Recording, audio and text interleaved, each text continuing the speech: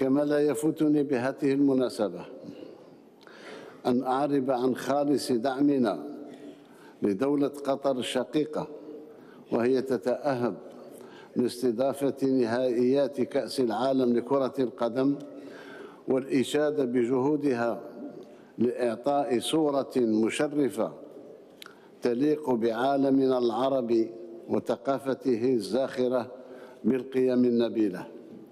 كما نعبر عن, دعم عن دعمنا المطلق لجمهورية مصر العربية الشقيقة التي تستعد لاحتضان الدورة 27 لمؤتمر الدول الأطراف في اتفاقية إطارية للأمم المتحدة حول تغير المناخ. متمنين لها كل النجاح والتوفيق إن شاء الله.